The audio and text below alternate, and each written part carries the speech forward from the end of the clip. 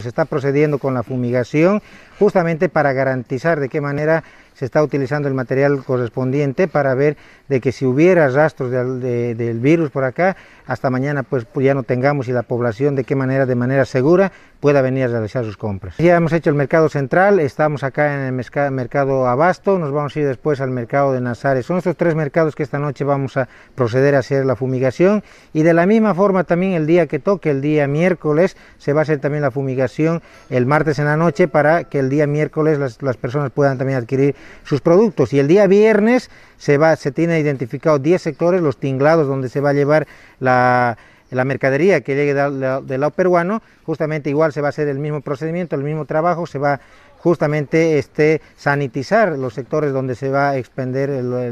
los artículos de primera necesidad. La entrada va a ser por la, esta, por, la avenida principal y la salida va a ser por la parte de atrás. La gente va a entrar de 10 en 10 a hacer su compra. Eso se va a quedar mañana con el equipo que se tenga. Lo que sí pedimos es que cada uno de los ciudadanos guarden la compostura de manera disciplinada, acaten las disposiciones que se, que se den, porque esto nos va a permitir que no haya otro caso más en nuestro departamento.